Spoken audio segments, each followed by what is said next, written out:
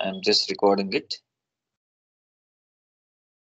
Share screen. Students, whenever disconnect, kindly send me a message.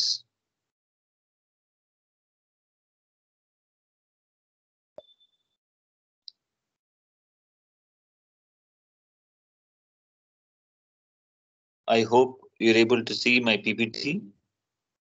Anyone can give me some indication? Yes, sir. Yes, sir, it's visible. Yeah, thank you.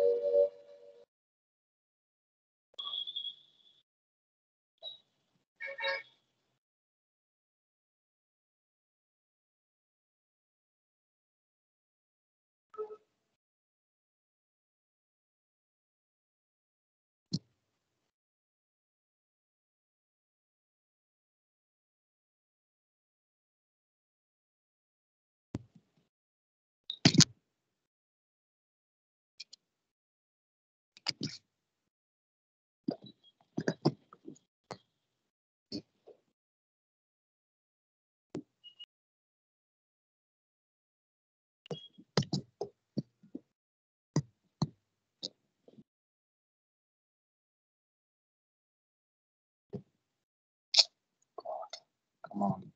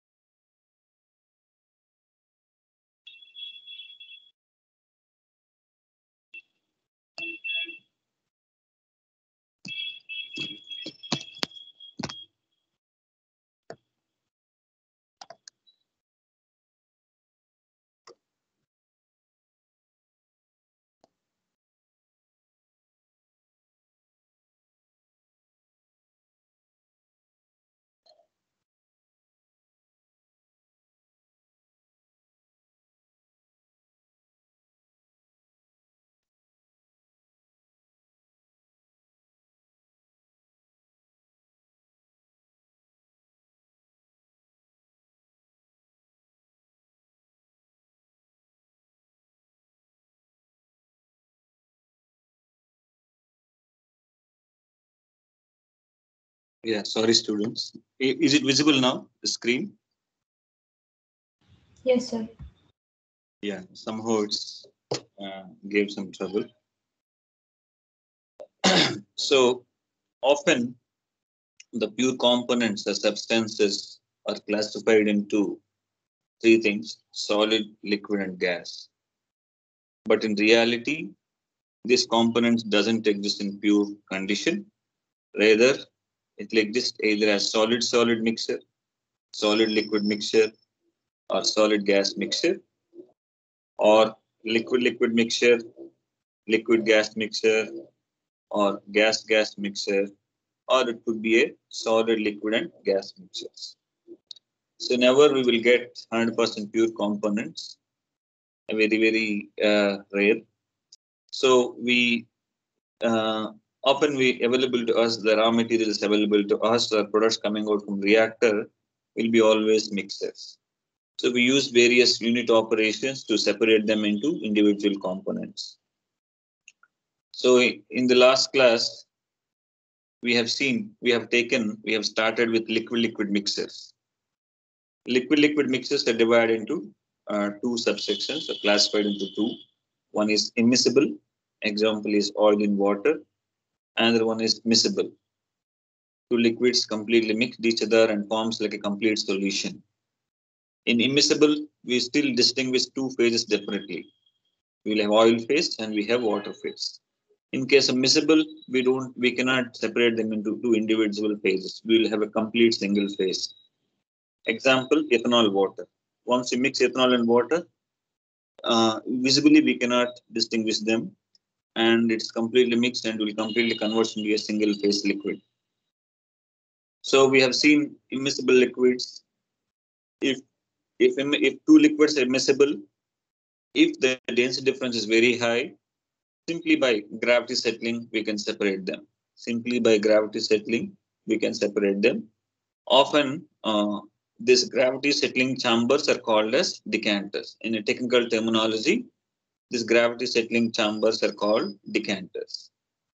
If density difference is low, if density difference is low, where the separation with gravity is tough, we use centrifugal separators.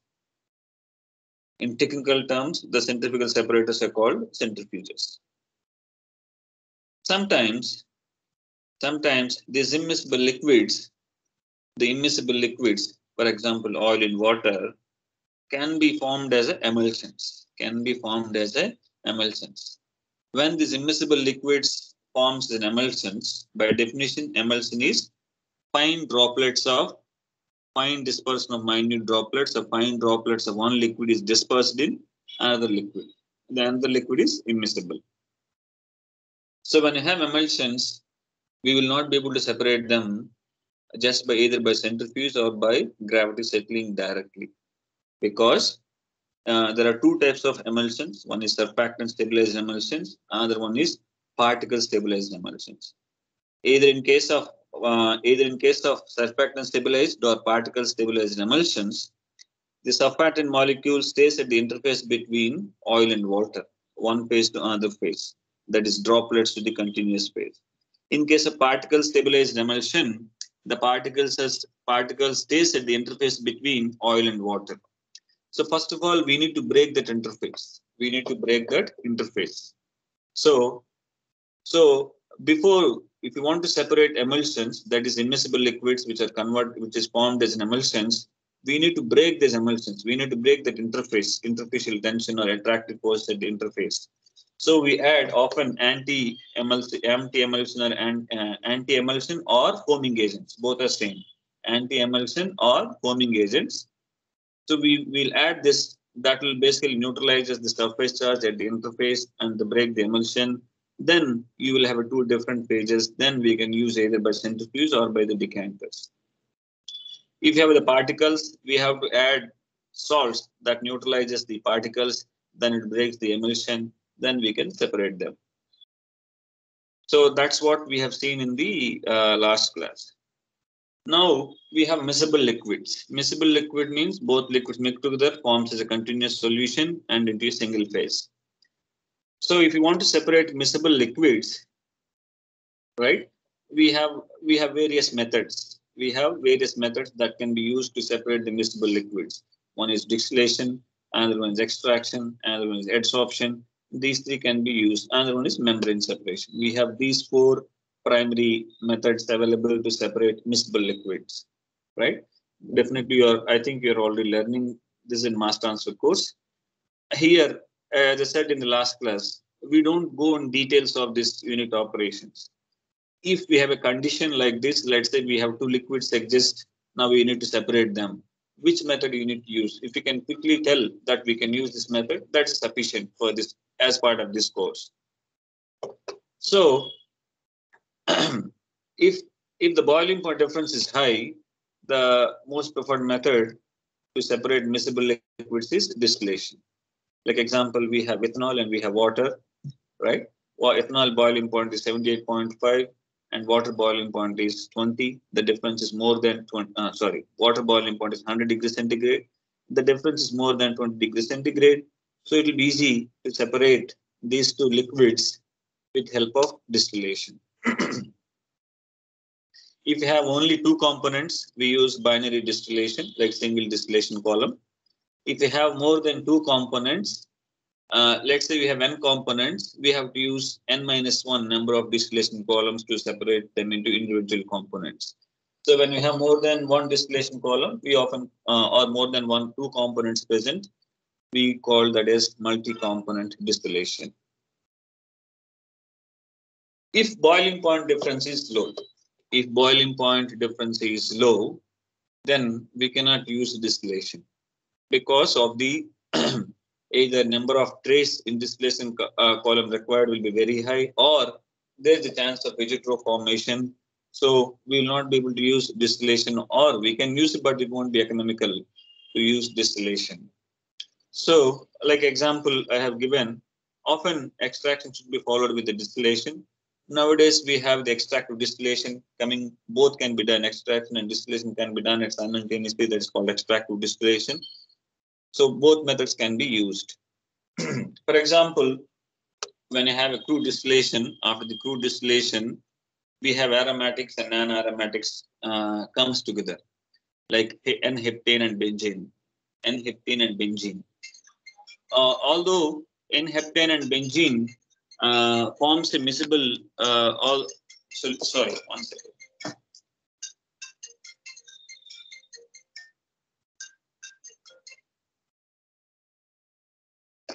So N-hep here aromatics and non-aromatics. One example is N-heptane and benzene suppose we have N-heptane and benzene liquid mixture, right? N-heptane and benzene forms miscible liquids. It forms a solution.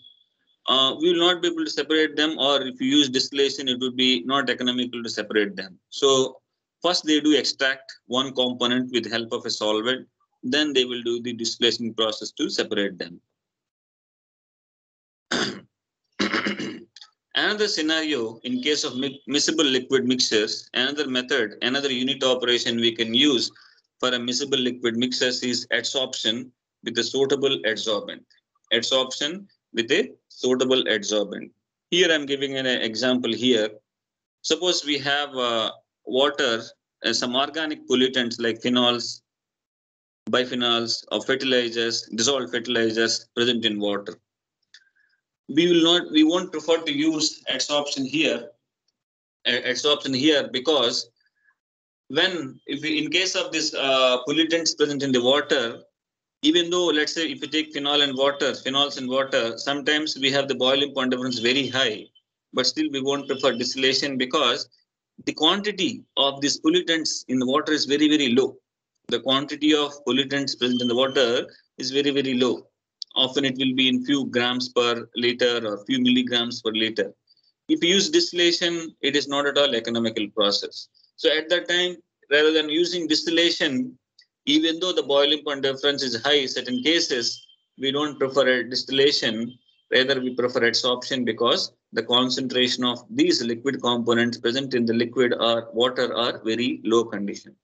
Like if suppose the dissolved fertilizers are present in water, often anyway we can't use distillation because of, of this melting point is very low. So conditions like based on the scenario to scenario, based on the conditions, we, we, we use either distillation or extractive distillation or adsorption followed by distillation or adsorption process, or we use membrane separation. It is case to case. It is case to case basis. we will so we will we will get to know. We will we'll explain more individual details as course proceeds, and I'm sure you will also learn parallelly with mass transfer course when to use which process. But in a in a general guidelines, if boiling point difference is high, we prefer distillation. But at the same time, the ratios of both liquids should be uh, like you know it should be around 50% or 30 to 70%. It's, not like something is 1%, the other one is 99%. We never use distillation for that. If boiling point difference is low, we have to go for extractive distillation. Or we have to go for the adsorption followed by some other method to remove the uh, solvents. Another thing is membrane separation another method which we can use another method which we can use the miscible liquid mixers is membrane separation membrane separation, to be able to do membrane separation, the molecule size difference should be significant. If you want to use membrane separation, the molecule size difference should be significant. Suppose if you use water, if you use other pollutant, the molecules of phenols and molecule size of phenols and molecules of water should be significantly different. Then only we can use the membrane separation. If molecule size is uh, same or close to each other, and membrane separation is not a preferred method. Not a preferred method. So membrane separation is based on molecule size, distillation is based on the boiling point difference, and extraction is based on the solubility, and adsorption is based on the ability to adsorb onto this. Uh, there, is, there is a quantity called um, adsorb, adsorption ability. So based on these parameters, we decide which method we use it. So as I said, as we go through uh, industrial processes, when I explain case to case, I will tell you which method, why we're using this method, what are the criteria. That way you will get to know more and more details. So second, next case, I'm taking gas-gas mixtures. Suppose you have a, a, gas, like we have air. Air contains nitrogen and oxygen. And it also contains CO2 and other uh, gas, other pollutants. So this is gas-gas mixture. If you wanted to separate, let's say we wanted to separate one gas component or we wanted to separate uh, gas, like we wanted to separate them into individual components. What are the unit operations we use? Students are able to follow what I'm trying to convey. Is making some sense or just going away?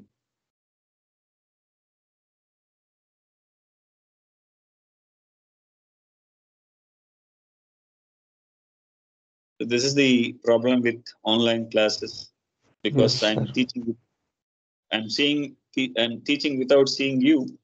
So if you can give me input, let's see if you're not able to understand, if you're not able to follow, or if, if not something making sense, kindly rise up and ask me so that I can change the way I want to explain. so when, I, when you have a gas-gas mixers, the most popular method is gas absorption.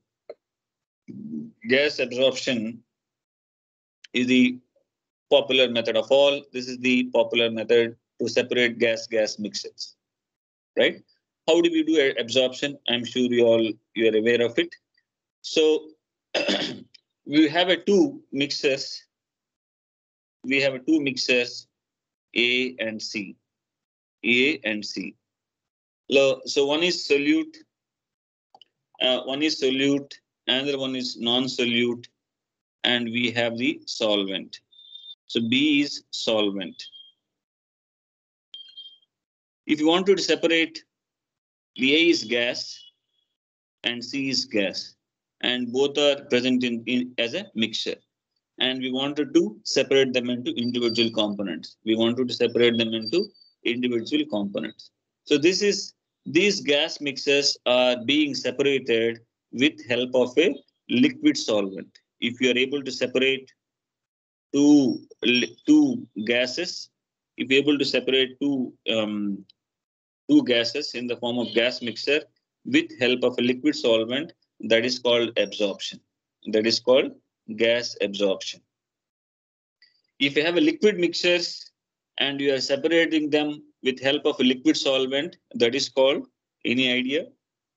If we have a two liquids if we have a liquid mixture and we are separating them into individual components with help of a liquid solvent what is that unit operation is called? Anyone can guess? Can anyone tell me? Sorry i could not hear. Can you say again? Extraction. Extraction true. So just i explained before that is extraction we have a two liquid mixture. If we two liquids in the, in the present as a mixture, and we separate them as individual components with help of liquid solvent, that is called extraction. We have a two gas components present as a mixture, and we separate them into individual components with help of a liquid solvent, that is called absorption. Here, the liquid solvent is selected such that the liquid solvent is selected such that one of the two gases, one of the two gases has more solubility than others. One of the two gases has more solubility than others. Let's say we have A and C, and A is A is soluble in this liquid solvent much more higher than C. A is so soluble in this liquid solvent much more than C. Then only we can use gas absorption. For example, uh, for example, we have we have CO2 present in the air. We have CO2 present in the air, and we wanted to remove this CO2. We wanted to remove this CO2. So if I bring NaOH, if I add NaOH into this container, like I have NaOH, and on top of that we have CO2 and air. If I mix it, if I mix it, if I rigorously mix it, can anyone guess what will happen? Can anyone guess what will happen? I have liquid NaOH at the bottom. I have CO2 and air at the top. Then I rigorously mixed. Can anyone guess what will happen after mixing?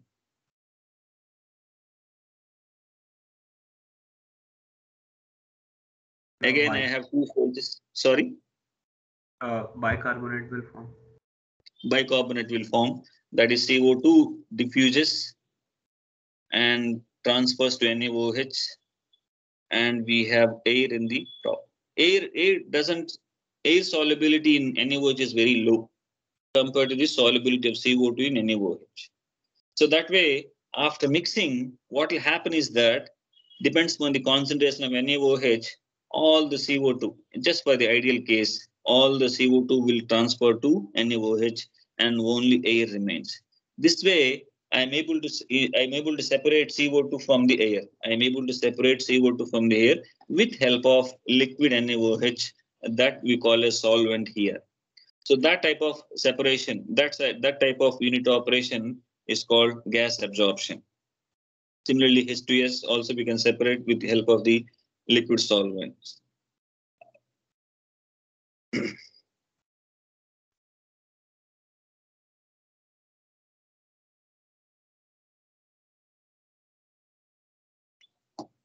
Just give me one second.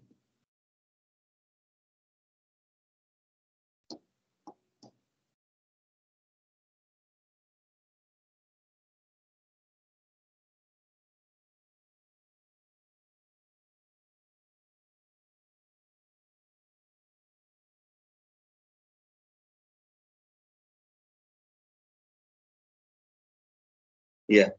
So that is one gas absorption. Now, at certain conditions, at certain conditions, we have again we have two gases.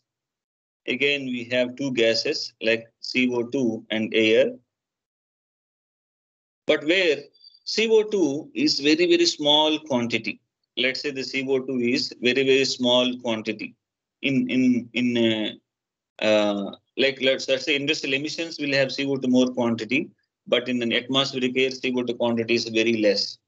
If CO2 quantity is very low, that is in the gas mixers, the quantity of one component is very, very low compared to the other quantity. At that time, we prefer to go for scrubbing.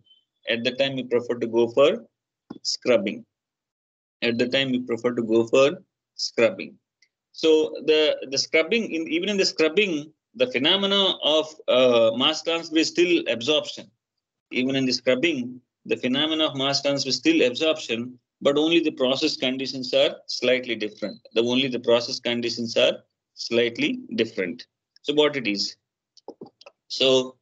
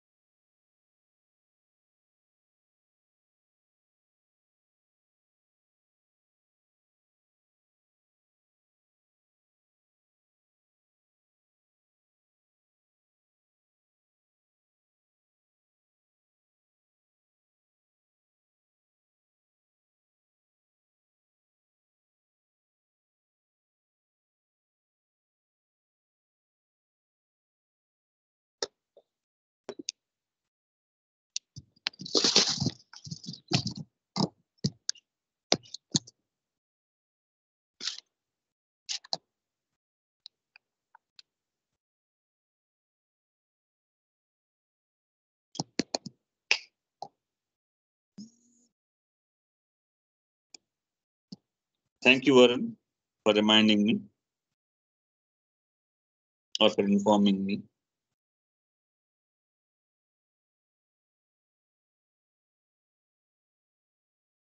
Uh, may I know when it got disconnected? Just before this slide or previous slide also? You were telling about scrubbing. Scrubbing. Ah, okay.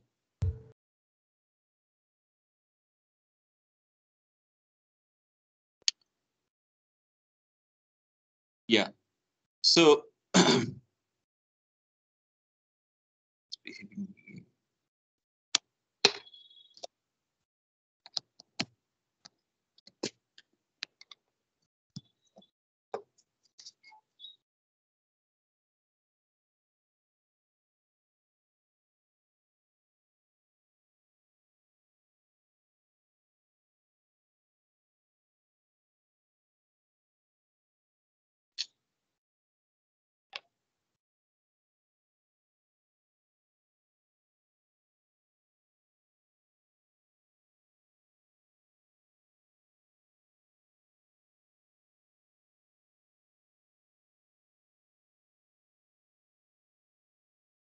sorry guys, I'm facing a lot of trouble today. I don't know why.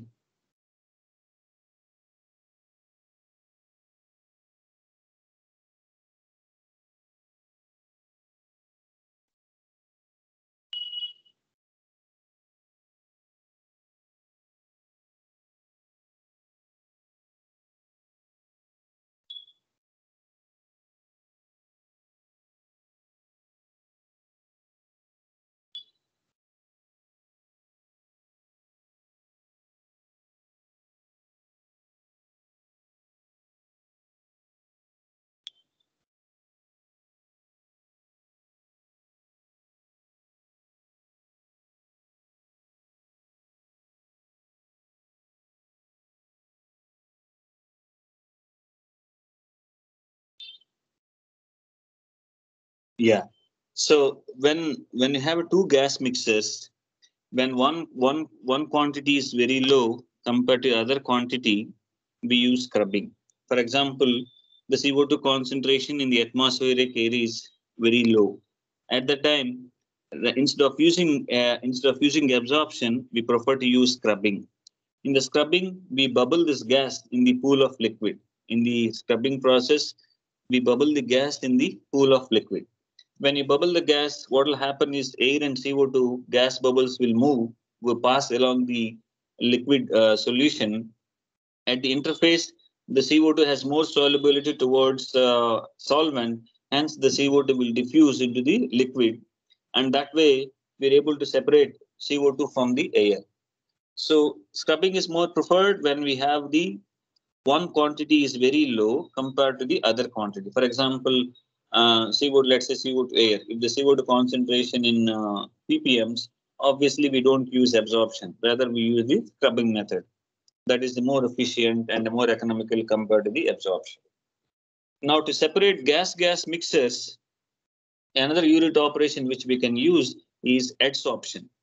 In the adsorption, the gas-gas mixers are separated with help of a solid adsorbent the gas-gas mixes are separated with help of a solid adsorbent that is called adsorption.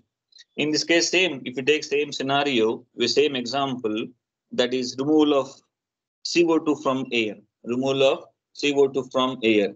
We can use a liquid solvent like NaOH.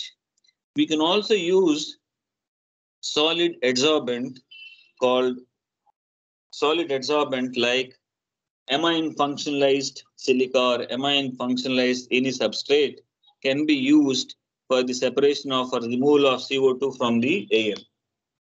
That is one, one, one example, but there are many, many examples we can give for the removal of gas-gas mixtures from the uh, separation of gas-gas mixtures with help of a solid adsorbent.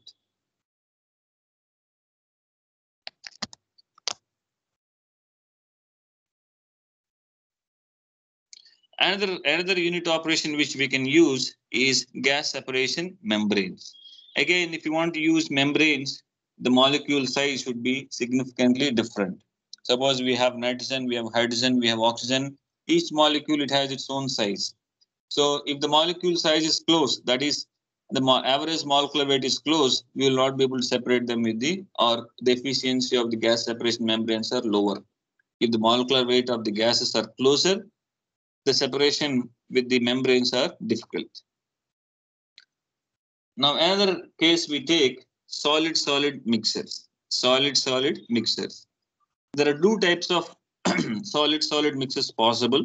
One is homogeneous, another one is heterogeneous. Homogeneous, heterogeneous doesn't mean we have the two different comp. Of course, solid-solid mixers means two different components. But if uniformly dispersed, that's called homogeneous. If non-uniformly dispersed is called heterogeneous. Right? For example, if you take alloys, nickel alloys, or like if you take many uh, many alloys, they're uniformly distributed along the matrix. Another example is carbonate rocks that is uniformly distributed along the matrix. So if when you have two materials, if you have a sol two solid liquid mixers, one of the important unit operation which we can use is leaching. One of the important unit operation which we can use is leaching. In the leaching, in the leaching, solid solid liquid mixers are separated with help of a liquid solvent. In the leaching, solid solid mixers are separated with help of a liquid solvent that is called leaching.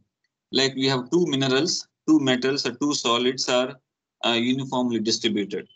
But out of these two, one is more soluble in the liquid solvent. Other one is less soluble in liquid solvent. Then we go for the leaching. In case of heterogeneous, in case of heterogeneous, example is iron ore. The iron ore contain many of the impurities many of the impurities. Now, those impurities are not uniformly distributed, not uniformly distributed. Also, we will be able to separate them into individual grains. We will able to separate them into individual grains. In case of homogeneous, everything is like a single metal, single material. Everything is like a single material. Like nowadays, we all see gold ornaments, right?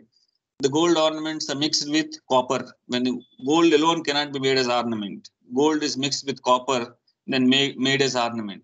But you can see that both copper and gold is together uh, stays as a single solid. That's what's called homogeneous solid. But in case of uh, uh, in, in case of heterogeneous, both are we can separate them grain boundaries. We can separate them individual components. Like another example I give, you will you'll understand better for heterogeneous is um, sand and stones. Like both are mixed, both are mixed, but physically we can also separate them. Both are uniformly mixed, but physically we can separate them. It comes under heterogeneous classification.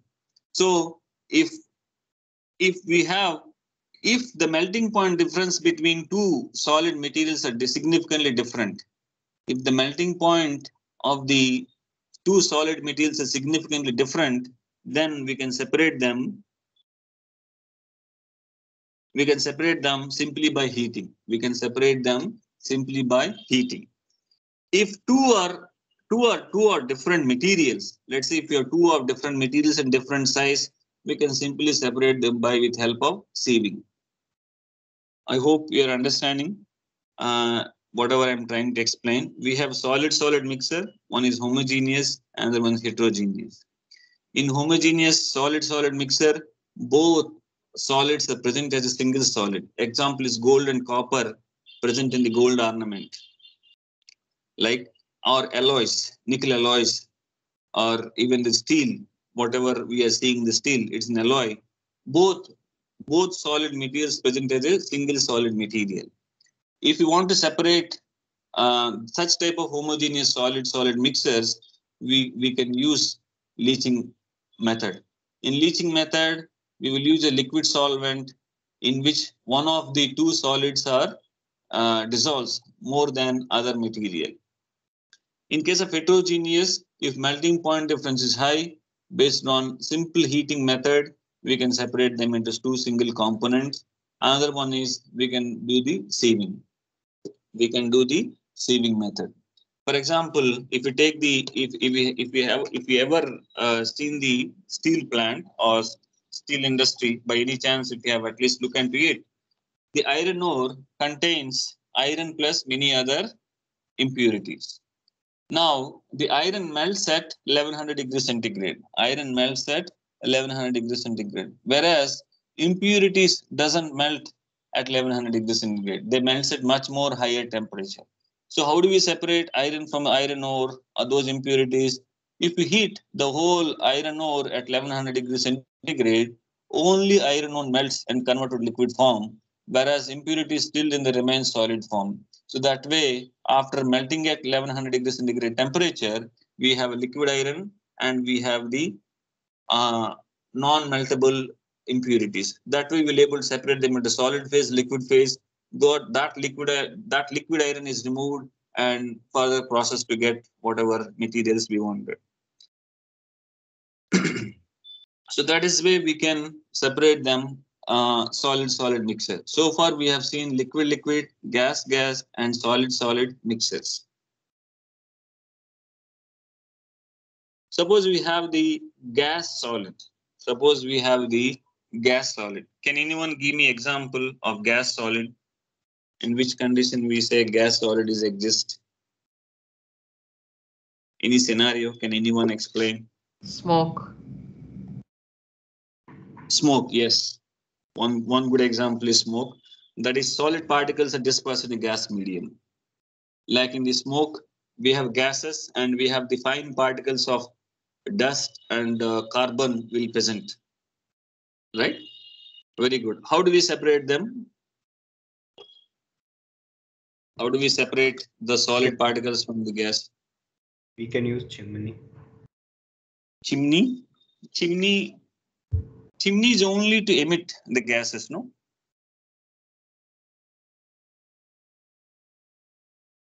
Filters. Chimney filters, yes, we can use filters. Very good. Any other? Depends on the particle size. Can, in, can we suggest something else? One is filter, definitely filter. But if it is hot, let's say the smoke is hot, so we will not be able to use normal filters because most of the filters are made of polymers. So it might it might be uh, like good idea to use filters if it is hot. So any other methods we choose or we can use to separate gas solid mixes, which we have seen in mechanical operations course.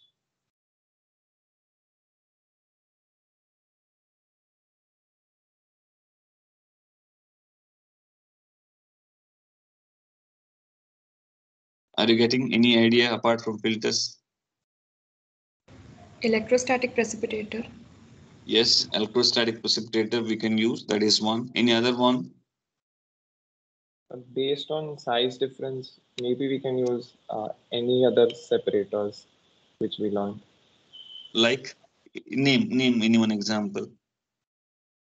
Um, so, for example, cyclone separator. Yes, cyclone separator. True. So we can we can use bag filters or filters, or we can use cyclone separators, or we can use electrostatic precipitator. It depends on the charging ability and particle size and what are the characteristics we have seen already. Another example, one is solid particles are trapped in gas. Another example also possible that gas is trapped in a solid, like we have a gas hydrates. You might have heard. The gas is trapped in a rock. Gas is trapped in a rock, like natural gas is trapped in a rock or. And uh, in that case, what we do? Suppose a gas is trapped in a solid. How do we how do we uh, separate them? With help of desorption. With help of desorption. Or this is desorption is opposite of adsorption. Like we have a gas is trapped in a solid. When we purge another gas through that one, because of the concentration gradient, whatever gas present trapped in the, whatever gas trapped in the solid material tend to diffuse outside. They tend to diffuse outside. So that way, desorption method can be used to separate if the gas is trapped in solid particle. If solid particles are dispersed in gas, just now you, you all told what are the methods we can use. If gas is trapped in solid particles, we can use desorption to separate them. So is sponge ball example of gas trapped in solid? Which one? Can you repeat? I do not hear. Sponge ball. Sponge ball. Oh, means the air is in the sponge that way? Yes, sir. Yes, yes, that is that is true. Suppose, yeah, the same example. Suppose we have the, let's say, some argon gas is trapped in the sponge ball instead of air. If you wanted to separate that argon from that sponge, sponge, whatever foam, lick foam, we can, if you purge some uh, air through that one very fast, the argon will be diffused into air because of the concentration gradient. Because argon concentration in the air is zero, right? Let's suppose this is the sponge ball. Sorry.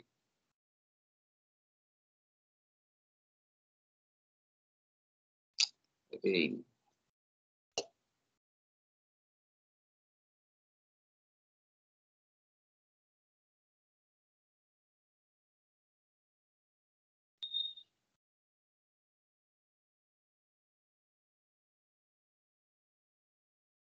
Sorry, again disconnected my screen.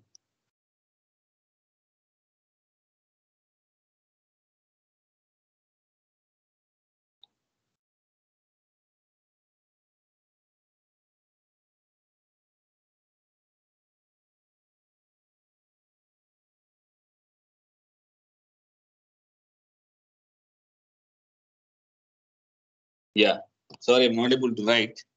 So yeah, we have a sponge in which we have some gas trapped. Now, if you want to remove that gas trapped in the sponge, how do we do? By purging other gas through that one. And the argon, let's say argon in the sponge, argon concentration in the sponge is very high. Whereas if you purge a gas over the sponge, where the argon concentration is almost zero, because of the concentration different, the argon diffuses from the sponge to the air. Okay.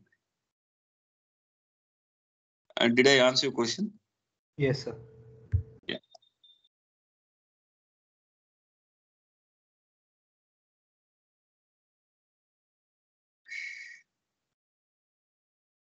So next one is gas liquid. The next one is gas liquid.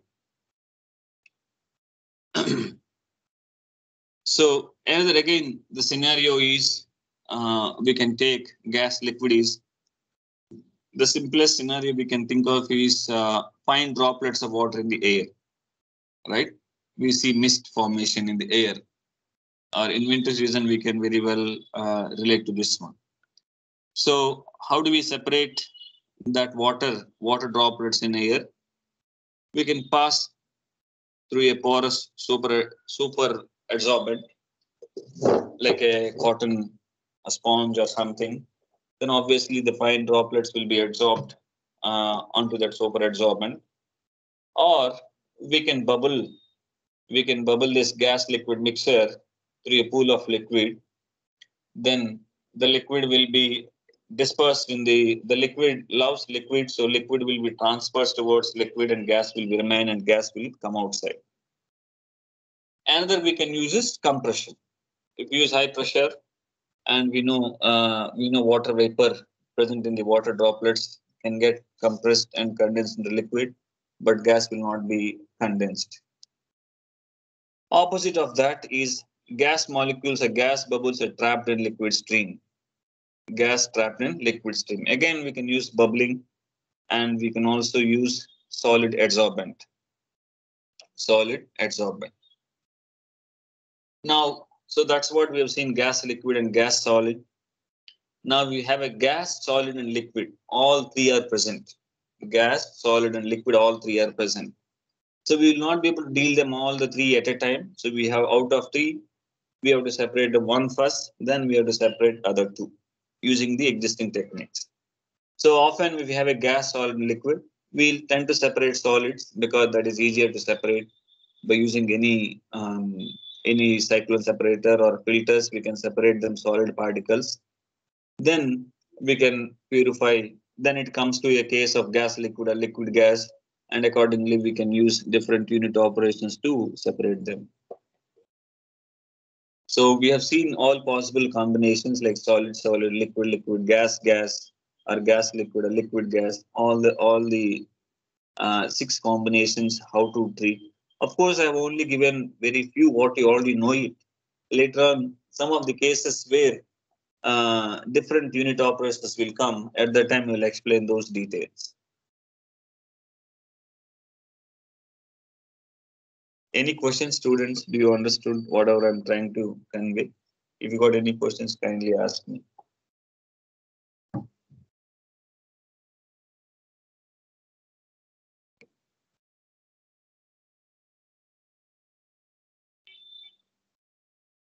Probably no questions, so. That is one. Another one is transportation of solids. Like we have seen in the mechanical operation, so I, I don't think I need to spend any time here. We use conveyors. One is belt conveyor, bucket elevators. This is what we have seen. And screw conveyors. This also we have seen in the mechanical operations course. then we also use pneumatic conveyors. We also seen this pneumatic conveyor um, in the mechanical operation, so I don't have to spend much time here. Transportation of liquids and gases. These all these are also another types of unit operations. So we use pumps, centrifugal pump. This is centrifugal pump. Then we have the positive displacement pumps, reciprocating pumps are the positive displacement pumps. I hope you have learned this in the fluid mechanics course. So these are for the transportation of liquids, we use centrifugal pumps and positive displacement pumps and rotary pump. This is the example for rotary pump or typical cross section of a rotary pump. Another is diaphragm pump. If we have a, if the solid particles are present in the liquids and liquids, if the solid particles are present in liquids, if we need to transport slurries, solid particles present in liquid means slurries. If we need to transport slurries, we use diaphragm pumps. We use diaphragm pumps. Example, suppose if you go to any pharmaceutical industry where they have to transport the concentrated slurries from one position to another position, that's uh, where we have to use diaphragm pumps. We can't use uh, centrifugal pumps or reciprocating pumps. So if you visit any pharmaceutical industry, often you will see diaphragm pumps. If you if you visit any oil refinery, you will often you will see centrifugal pumps. Even often you will see centrifugal pumps or reciprocating pumps. So fans, blowers, and compressors are used for the transportation of gases. Fans, blowers, and compressors are used uh, for the transportation of gases. Fans and blowers acts based on the centrifugal action, compressors based on the reciprocating action. Fans and blowers are similar in terms of functioning. Only difference is fans can only give very little amount of pressure than the blower, whereas compressors can give much more higher pressure. So this is a students. Do you have you do you know how the centrifugal pump works? Did I explain or did you see in any other course? So actually, uh, we have not seen the working of different type of pumps. Oh, we have not seen. So maybe, yeah, I think I, I will spend few minutes as it's already 1056. We will explain in next class different pumps, how they work and what the differences. Maybe it will be useful if at all you visit an industry. I think I will continue from here. This is further vacuum jet ejectors. Uh, I don't know. Maybe last year I taught. So we'll, we'll continue vacuum generation and pumps in the next class. So if you have any questions, you can ask me. Otherwise, we will stop here. Maybe you can join the next class if we have.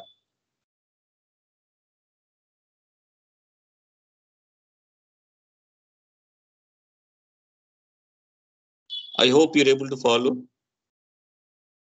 with this distraction of uh, getting disconnected in between. if it is making sense, there will be more good. If you could not understand or if, if the way I'm explaining is not making good sense, please do let me know, okay? We can always find a better way to explain. Aman, you are trying to say something. You're muted actually.